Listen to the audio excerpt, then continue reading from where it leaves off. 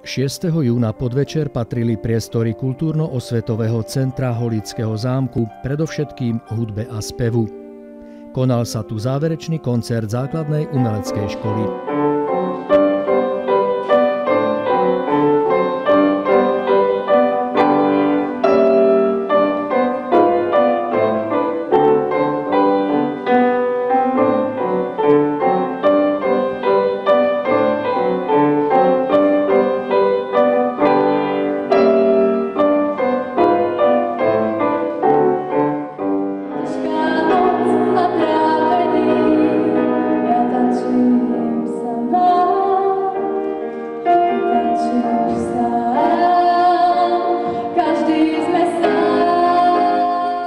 Programe sa predstavili žiaci hudobného odboru, v ktorých podaní zazneli populárne melódie, skladby klasickej hudby, ale aj folklór, predstavili sa solisti, komorná hra i súbor ľudovej hudby.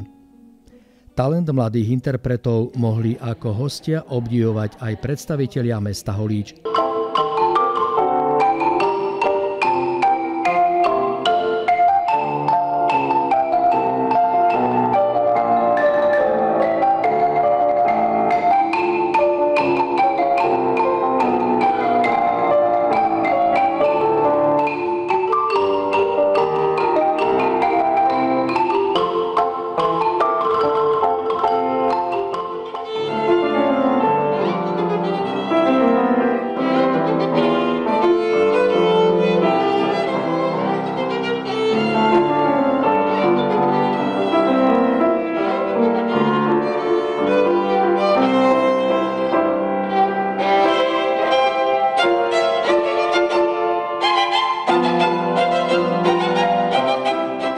Koncert bol okrem prehliadky nadania žiakov Holíckej zušky aj symbolickou rozlúčkou s Františkom Plhalom, zakladajúcim učiteľom a prvým riaditeľom vtedajšej ľudovej školy umenia.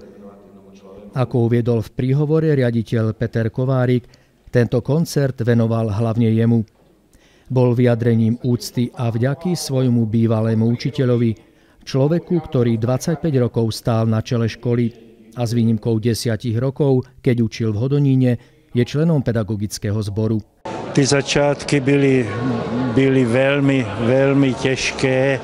Začínali sme se čtyřma učitel, učitelama a sú hrdí na to, že se tá škola udržela, že se rozvinula až tak, že má v současné době asi 30 30 učitelů a dnešní koncert dokázal, že, že to vystoupení těch žáků bylo velmi kvalitní. Obdiv k dlhoročnému učiteľovi, ktorý ešte vo svojich 78 rokoch na škole vyučuje hru na husliach, vyjadril aj primátor.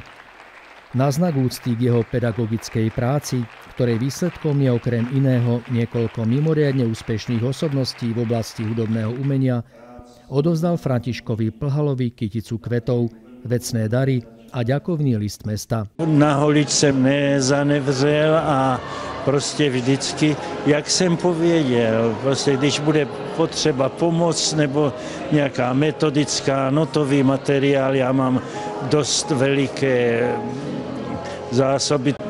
Ste ochotní prispieť aj radou a pomocou? Áno, áno, áno.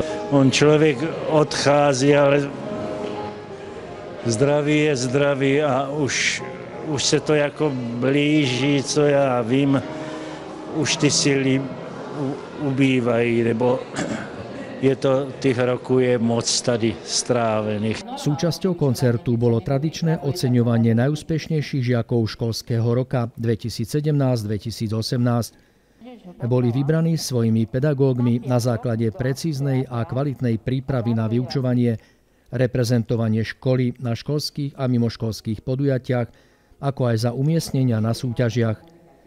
32 tanečníkov a 17 hudobníkov si prevzalo z rúk riaditeľa školy Petra Kovárika a jeho zástupkyne Veroniky Zapletalovej diplomy a drobné darčeky. Záver koncertného programu patril folklóru. Pásmom ľudových piesní rozoznela sálu ľudová hudba základnej umeleckej školy s jej solistami.